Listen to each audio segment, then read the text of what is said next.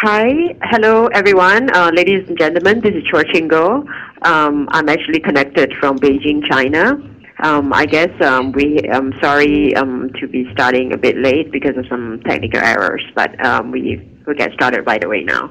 Um, so let me give you a quick overview. This is like a seminar of uh, five, six presentations, and the previous one was about um, urbanization and growth. Um, and this one in particular, I will discuss urbanization in China and what will be key reform needed in order for China's urbanization in the next 20, 20 years to be more efficient, more inclusive, and more sustainable.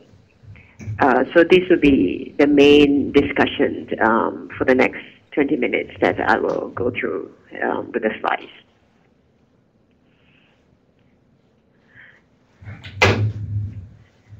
So I guess if we could have the slides up. Um,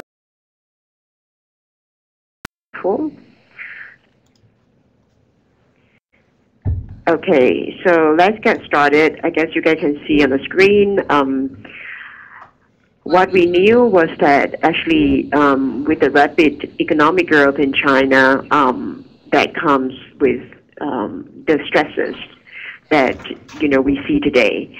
And I'm going to tell you there are the three main stresses that we found economically, socially, and environmentally.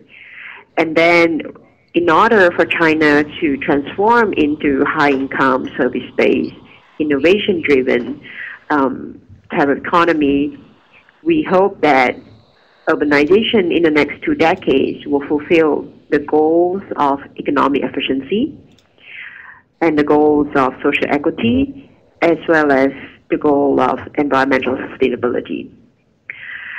And what I'm going to tell you that the most important reform that need to take place will be in the three factor markets. So it will be in the market of land, market of labor, and in the market of capital. And capital here we refer to financial capital and public capital, which means public finance reform. So this is, you know, um, a one-minute story about what I'm going to tell you. I'm going to go through and show you the stresses that have come from rapid urbanization in the last 20 years. And so at this juncture, China no longer can urbanize in the fashion that it had in the last 20 years. So at this point, what should they do? And we're going to tell them that in order, you know, to urbanize in a sustainable way um, for the economy to reach a high income and for the society and environment, for society to be stable and environment to be sustainable, you need to fulfill three goals of economic efficiency, social equity, and environmental sustainability.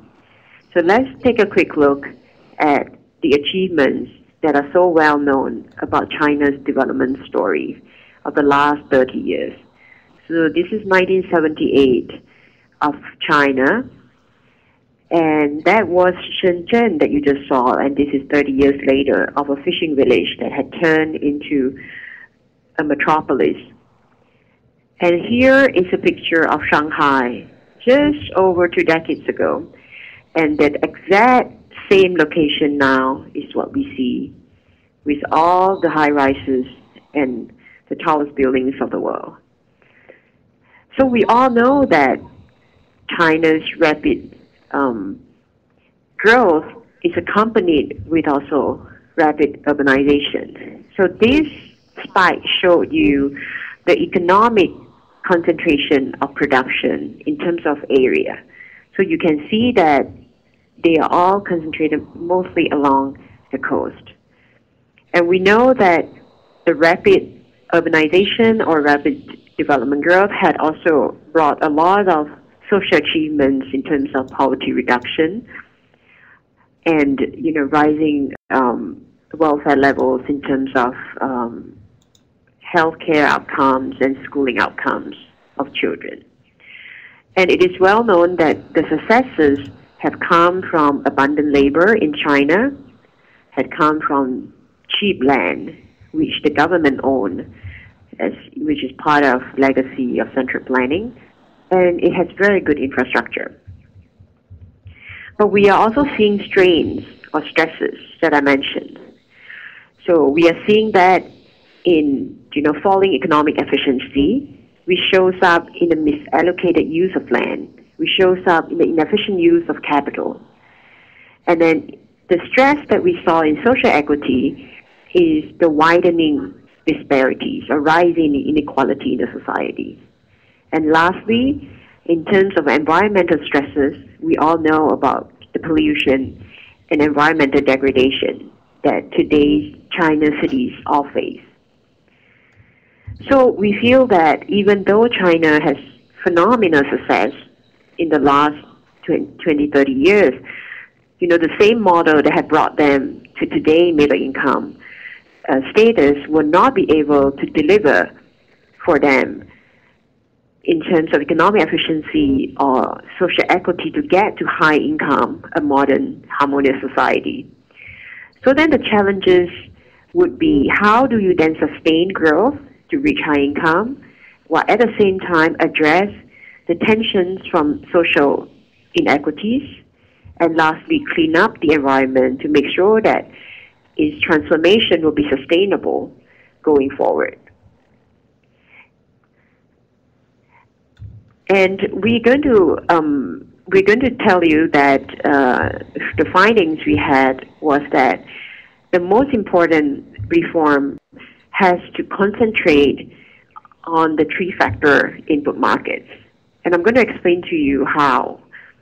But let me just stop for briefly to tell you how you know China's success had come about. If we think about you know the last 30 years of transformation, it has come you know on the shoulder of global demand on China's manufactured goods. So what what it has been was an export-led growth agenda for China. And the external demand from the world market had put on a lot of discipline, put on a lot of productivity in its manufacturing sector. So what we see today is that the product market in China is liberalized. But within China, the factor input markets are still straddled with a lot of distortions of all kinds, partly because of central planning legacy, um, but partly was also, you know, many specific China elements that over the years had exacerbated these distortions. So now, if we are going to think that China's growth engine is going to come more from internal demand and less from external export, then it is important to actually address these distortions in the factor input markets. And, and over, overlaying all this is an important message to the government that, you know, the, the policy mix that they had pursued in the last few decades, um, which is heavily um, uh, government-led and government-driven, is going to be increasingly difficult in order to deliver, you know, in a sophisticated economy. So here, as you see on the slide, is that we are calling for a new role of government, which is that it's not to say that the government has no role at all, but to say that the policy mix between government's role or government interventions and market forces will have to be recalibrated, will, will have to be reweighted so that there'll be more for the market forces to do some of the more difficult work that the governments are not suitable to do. And we're going to see that more starkly in the three factor input market. So what do, we, what do I mean by that? So for example, in the area of land reform, in order for us to have the goal of economic efficiency, to have the goal of social equity and environmental sustainability, we need to have a functioning land market.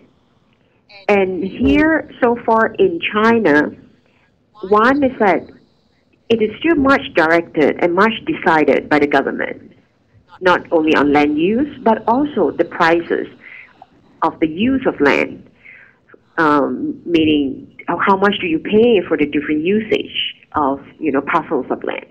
So that's one. The second thing is that um, in the rural land market, for example, um, property rights is still not well defined because it is still under collective ownership of that village or that commune. So these are non-market features that have hindered um, how land use evolve over the years. So that's one example of how we think that you know government should step back and let you know the the um, market players get into the marketplace to transact and to decide on what is best for the land use. So this is one important area. And um, the distortions that had come from um, the, the land market showed up in how land use has been very inefficient. And what I meant by that was that there was a lot of sprawling in um, in in China China's urban areas. So what that means is that you have a, a huge amount of congestion and pollution costs from that sprawling versus a compactness of a city. So here in this case, it's because the government has relied a lot on the the money or the revenue that comes from leasing land, that it has led the expansion of urban areas, the physical expansion of uh, urban areas, growing very rapidly. So here is what, what I mean that, for example, going from one point to another takes, you know, a vast distance and even greater distance if we think of it in terms of time cost because of congestion. So these distortions had been linked with how that has caused urbanization to be not efficient economically. So that's one. And then another thing we saw is that also um, in uh, the land market, the the use for prime central urban land for industrial uses is too high. So let me give you an example. Say in Seoul, New York City, London, what you saw to be um, the proportion of uh, metropolitan land use to be for industrial use is about like 3 to 5%. Whereas in China, we are seeing up to 25% of that in industrial use. So this is one area. Another area is the labor market. And here primarily, um, the distortion has stemmed from the restrictive uh, hukou, um, which is a residency quota um, registration system. So this is like in the old, old Soviet style, the Propiska system, where whoever is born in that place is registered and in a sense tied, and their rights are tied to the place of birth. And then even after many you know years or decades, say of a migrant worker living and working in a city, that person, if that person does not have the, that city's hukou or that city's registration, that person is not entitled to the basic amenities and social services in that city. So, so you can see one is how much you know um, inequity that creates. Second, you can also see how that is not helping to create you know, um, a consumer class in urban areas, a consumer class from migrant workers, you, you're hindering that development. And third is that you can also see from that one distortion linked to the labor market with this um, tying up one's mobility, that you are also stopping um, the development of a service sector. So this, this, this is the key constraint or key distortion in the labor market. And lastly, we're going to um, talk about uh, what needs to be done in the capital market. And here, the capital, we refer to both the financial capital of the banking sector and, and also the public finance system in China. Because the incentives of how a local government will behave rely heavily on how you know, how public finance is governed. So, for example, how transfers take place from the central government to the subnational governments, or how tax revenue is shared between county governments and provincial governments. All these will determine how each local government will behave towards their residents and how they will behave towards incoming migrants. So let me give you a few examples of how um, the public finance system has created distortions that are not helping urbanization to be more efficient and inclusive. So, for example, um, the value added tax in China is collected at the production sites. So that is collected at the factories, and it is not collected at the consumption or the destination um, uh, site. So what that means is that if I'm a local government, I would only care to have a lot of factories coming into my jurisdiction. Because I see factories, I see investors to be the, the revenue generators. But I don't see consumers, I don't see migrant workers coming into my jurisdiction to be taxpayers, even though they do pay taxes. So this for example, is one way that is also linked to why we saw in cities where industrial use should be falling with you know the, the tractor transformation that you would see more service sector coming into big cities you still find that about 25% of land use in metropolitan areas in China are devoted to industrial use. So this is also related not only to the land market distortions, but also to the public finance system and how that is, you know, governing the incentives of local governments to behave. So that's one area. Another area is um, the way that local governments have access to land, because land in China is state-owned. So the ease of access of local governments to land had, of course, yielded, you know, the the fantastic infrastructure that China has today. But it has now become a handicap that it has now made it, you know, environmentally not sustainable because in the way that because it's a revenue generator for local governments, infrastructures are, you know, are misplaced or misinvested. So we have enough, we have falling efficiency of capital, for example, that I mentioned. We have sprawling in cities.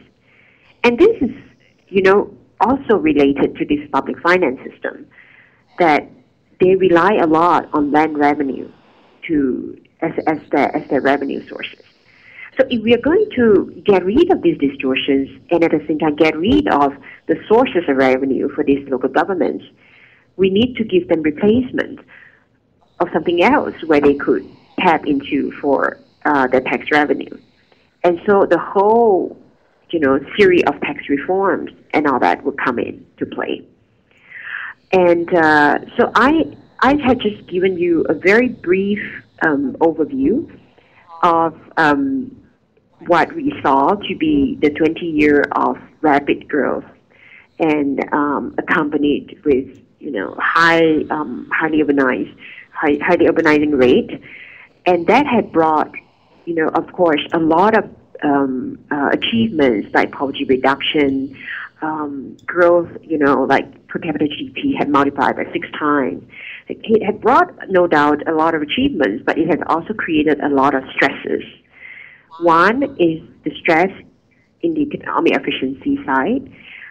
As you saw a lot of sprawling in big cities, that certainly doesn't, you know, um, contribute to agglomeration economies and that had brought also stresses from um, uh, into the society from the widening disparities that we see. And lastly, it had brought in stresses from the environmental degradation and pollution.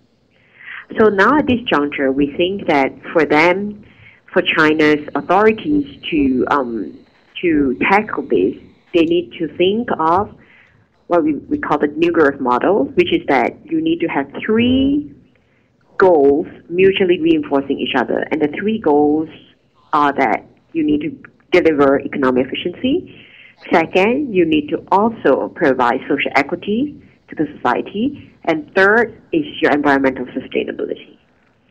And for them to do that, you have to embrace that, you know, there is a whole system of cities of different sizes and they do different things.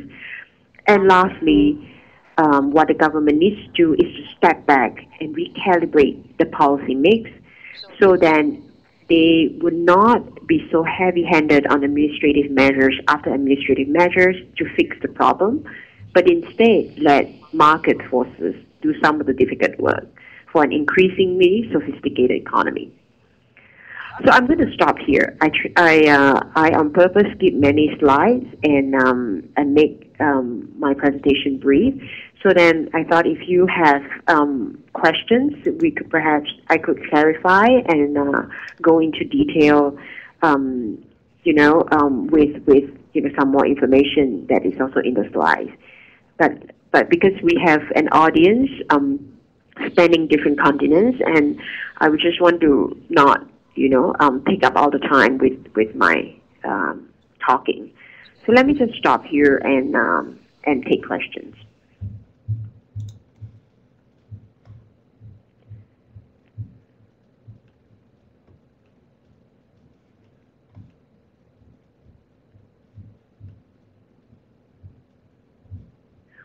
Okay, uh, I am reading. Um, let me see. Let me just. I guess you want the PowerPoint, and no problem. The PowerPoint they would deliver it online. Uh, let me start from uh, the chat. I, I can see that. Um, okay, I can see one question I, uh, that it says construction workers are eighty percent. Um, Okay, so the question was, I can see the construction workers are 80%, so major job opportunity is in the construction sector in China. Um, the response to the question is that um, no. Um, when I say 80% of construction workers, um, I meant that um, I meant that um, the migrant workers made up 80% of co the construction workers. So it's not that you know 80% of China labor force is construction worker. But because that slide, um, it, I'm just saying there are 260 million migrant workers, right? And I was saying that they contributed to greatly to the urban economy, and one of that was that 80% of the construction workers are migrant workers. So that was the clarification. Okay, next is um, uh, okay. Wait, let me see. Uh, okay, there are a lot of questions, uh, requests about the PPT, which is fine. You will get that. Okay, then um, another question came about removing incentives for fragmented law land and low densities. Yeah. Um, actually, let me clarify. I'm not asking for low density, actually. Uh, the, we are hoping that you okay, let me put it another way. For cities, for large metropolises to deliver the benefits of what a large city should do, which is agglomeration economies, you know, productivity gains, learning from one another, you know, all those IT driven type of idea generated growth, you actually need metropolises that are very dense. So I am not suggesting low density. When I say very dense, it does not have to be congested or polluted. When I said density, a density, I meant that the production, the value added in that surface area is extremely high, which means what you do economically is very valuable. And in cities, in compact cities like the New York City, London, or even Tokyo, you can deliver this type of economic density without that much of congestion. In China, big cities are not dense enough. When you see a lot of people, when you see a lot of cars, that are not equivalent to density, that are just crowdedness, that are just congested. When we say it economically dense, it actually, you know, has a, a different meaning, which is like it has to be compact and region people can walk. You know, public transportation is very well connected. Agglomeration economy is flourishing. Um, service sector thrives. So, so I hope I clarify. In and in the last ten years, the cities um, in China have been sprawling. Um, sprawling. That means you know you have to get from one point to another by car and driving a vast distance. That's sprawling. That's not compact, and that is not dense. And density in China cities has been falling. And the reason is because of the sprawling nature that cities have developed in China, and that is the problem. Uh, I hope I'm clear. Um, so let me read on about the other questions. Okay, with the pursuit of productivity and efficiency, will the job will the government allow SOE to leave and let it follow? Okay. Um, let me tell you that um, uh, SOEs, the state-owned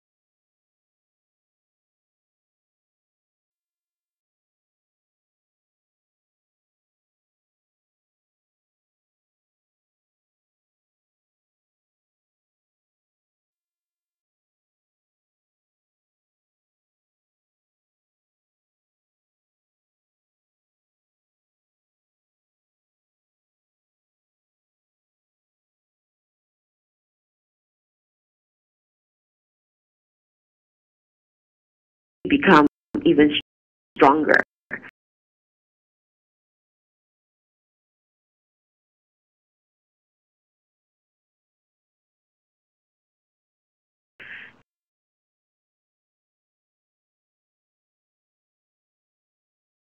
And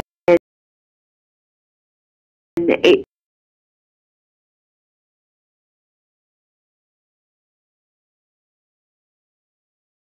it has been worry it, it has been a worrisome development. And as you can imagine, also during these 10 years of rapid growth and with, with the rising power of state-owned enterprises, reform in that sector of the state-owned enterprises, which tend to be plagued by inefficiency and, you know, lower productivity, will be difficult, understandably, because of vested interests. And therefore, we think that fundamentally, if they do, if the governments do not first and foremost tackle reforms in the factor markets, then it would be, you know, it would be impossible to tackle the state-owned enterprises. So put it another way, if you start to address the distortions in the factor input market, then a lot of the problems would have been resolved. Because right now, the distortions had given the state-owned enterprises an edge, an advantage, you know, to to um, to compete, because the distortion in the in, in the factor markets are not creating, are tilting, are not making, you know, the playing field is are not leveling the playing field. Therefore, private capital, domestic or international, can't easily compete with state-owned enterprises. So what we don't uh, comes in head on to say do this, do that for state enterprises. We think the fundamental distortions had all been created or had remained in the factor input markets that need to be removed.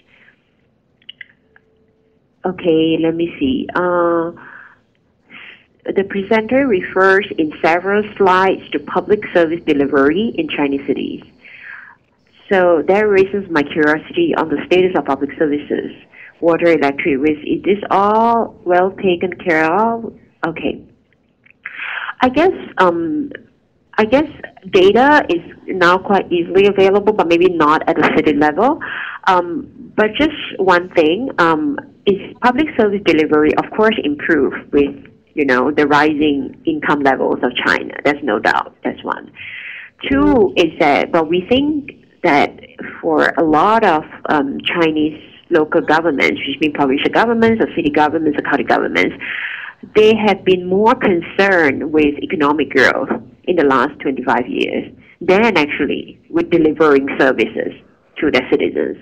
And we certainly hope that with the reform in public finance, you know, that incentive will heavily switch, you know, towards government that should deliver quality public services to its residents and not so much be involved in economic production. When I say economic production, I'm talking about um, you know governments actually um, working together with the state-owned enterprises that they own partly um, in economic production, whether it's manufacturing or services sector.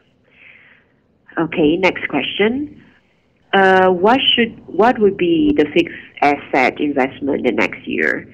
As percentage of GDP. Okay, um, we know that you know um, the the fixed asset investment has been growing. Um, it, it's about you know in the teens.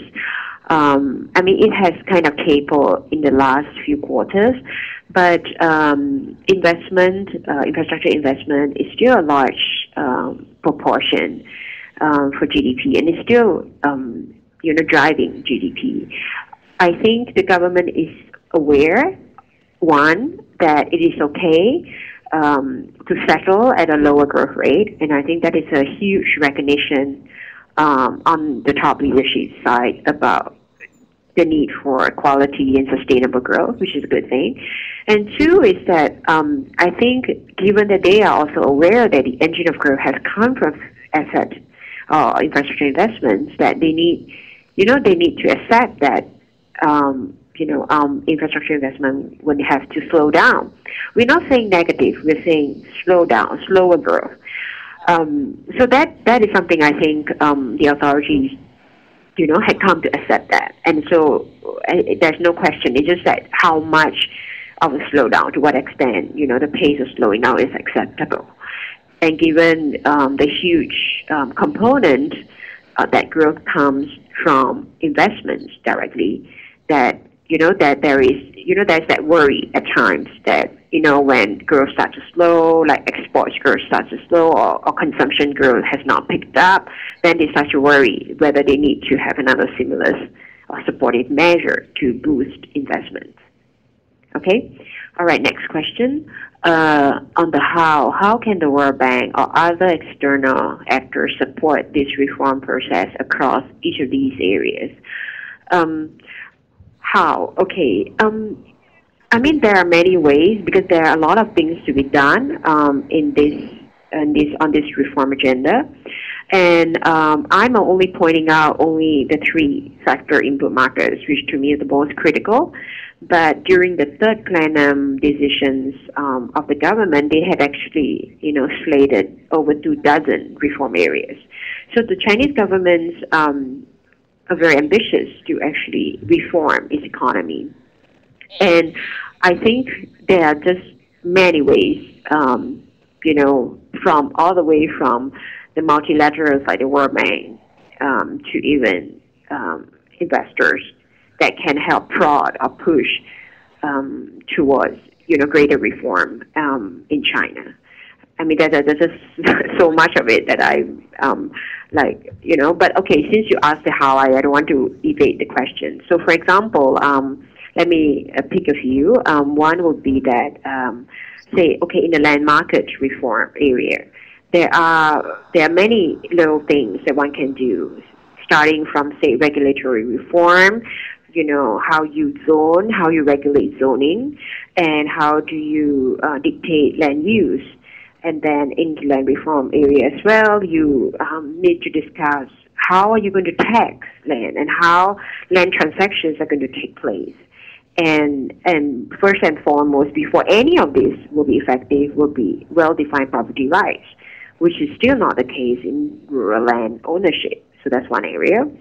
So then now let me um, go to say, you know, the public finance, public capital reform area um, there are so many good examples of how you know different governments had reform its own um, uh, fiscal uh, system, that I think they can offer to China many stories and, and lessons. So these are another area specifically. Uh, let me move on to the next one, uh, which is how is uh, public participation more encouraged? Um, well, uh, we know that actually um, China cities are very wired. People are online. Um, so I think it has been um, phenomenal growth in that participation, you know, in the media um, or in, in, in on um, online. Um, and for you know a communist country, I think it is uh, remarkable that that growth that we saw. And um, I think this will be um, a discussion in and of itself um, um, on this public participation, which I actually know very little about and won't delve, too much on. Okay, next question. Considering that China will consume more domestically, what would be that percent of GDP? Okay, right now the consumption, domestic consumption as a percent of GDP is very low, and we're talking about like, you know, 35, 40, 35% or so.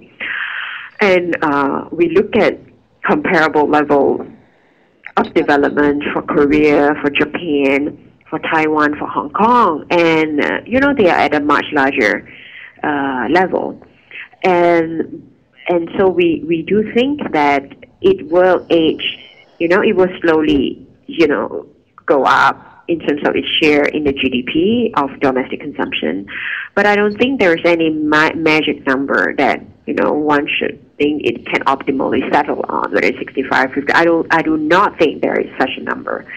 And um, I think it is it is just that the direction that is moving away from investment driven towards consumption uh, based uh, growth is, is a good direction. That's one.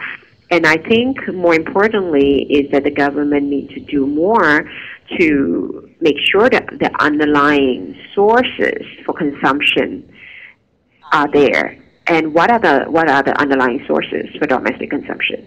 One would definitely be an integrated market um, that would be important for Ch- in China, which we don't see. Two, you also need labor mobility, which we still don't see that much, even though it is not really allowed, but people still move around. But you know, these these all help, and um, the mobility, and also the way that you know every resident, every citizen is treated equally in every place. That is very important because that is kind of a fundamental step to creating a middle class. And we know that the global middle class in China is extremely small in terms of percentage of uh, its population. It's about 17%, one seven of its total population. And when you look at Korea, Japan, other middle income countries in Asia, when they were at the same level of per capita GDP as China, the global middle class share of its populations are much, much higher. So what that means is that um, disposable incomes of household has not grown, you know, as fast in the last decades. Um, so one key source for domestic consumption growth would have to be making sure that disposable income of households or labor share in GDP is growing and growing rapidly. So, so this is this is important um, in order for us to shift towards a consumption-driven economy. Okay, next question. Um,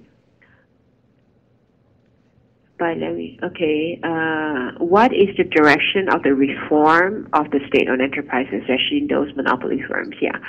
Okay. Um, my reading is the following: that during the Zhu Rongji administration, there has been you know, a conscientious uh, push to separate, you know, the state, the government from the production side. And there is even a, a phrase that said, you know, we would like to advance private capital and we would like uh, state-owned enterprises to retreat, to step back, to give room to private investment, private capital. But we also know that in the last 10 years, that was reversed because, you know, there has been, for whatever, I mean, for many reasons, but one is that because of lack of reform, um, that we have seen the advancements of state-owned enterprises crowding out private capital in the last 10 years. Now, what I see to be the administration's measure is neither to say is, is neither of uh, okay. Remember, in the Zhu um, era, there was a conscientious push to say let's advance private capital and retreat public capital. And last ten years, we knew the opposite happened. That actually state-owned enterprises had advanced and private capital had retreated. But now the way I see it is that the administrating come to accept that okay, SOEs will stay because they are now so big. But we are going to make it as possible a level playing field as we can for private capital to come in as well. So everybody competes on the same ground. So that is the direction I'm seeing. But whether in reality that happens is another matter. But I do think, and I do want to give credit to the administration for trying to make it a level playing field for private capital, domestic or international, can come and compete head to head with the state-owned enterprises. So that that has been, you know, seemed to be the policy direction and the intentions of the administration. It is just that I don't know whether in reality that will happen. So that's the answer to your question. And next one is um, will um, will supporting privatization help in making government more efficient? Yeah, definitely. Of course, of course. Privatization is just meaning bringing more competition. You know, letting you know the the aging industries and the floundering industry die. Is creative destruction. So, is privatization is definitely um, you know a powerful uh, a powerful boost for efficiency but uh, but I'm not sure um, privatization is um, you know is, is is a term or is a is a process that the authorities um, see to be something suitable you know for China's development. Um, but I think they do have the intention to try to bring in elements you know that replicate competition or you know private sector. So there's no doubt there is that intention. Um, but I'm not sure outright privatization um, is something they would embrace. Next question. What are the steps that local governments are doing, could do to shift or could do to shift from development model that's heavily focused on infrastructure to the one that I propose? Yeah. Um, that's right. Very, uh, very good question. So what, what it is, right? Um, so it's uh, the the thing is this: Right now, um, we know that the product market in China is liberalized, completely liberalized. How did that come about? The product market is liberalized because the discipline or the external demand, the global demand requires that. It, it, it leaves China no choice but to liberalize its product market in order to compete internationally, to tap into global market, right? So that's what happened in the last 20 years. So but they could still do that despite the distortions in the factor input markets because that is not tradable. The factor input markets of land, of labor, of capital, they're all within China. But we think that now comes the time, now comes the crunch time, that if you don't address all the distortion in your factor input markets, you are going to have a lot of challenges. You meaning, you know, the China development model. So I would say start from there. Start from addressing all these distortions in the factor markets. And I already give many specific examples in each of the factor markets what could be done. And it, it, there are a lot of things to be done actually in each of the factor markets. Not only there are a lot of things to be done, they are all not easy to do.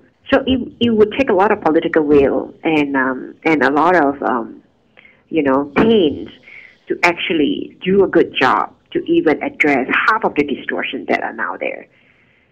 So again, the focus should be factor market uh, reform because factor inputs are not easily reallocated in China. That's why we don't see an integrated domestic market like we see in the United States. And we don't see labor mobility from one place to another. And similarly, we haven't seen that capital can flow anywhere that it wishes. Okay, next question. Um, Okay, please send a PowerPoint. Please send a PowerPoint. Sure, we will do that. What about the urban model? I thought China was doing a lot of city planning. Is there a way to develop a city model with defined extensions and density, not just talk about compact, but to say what compact means?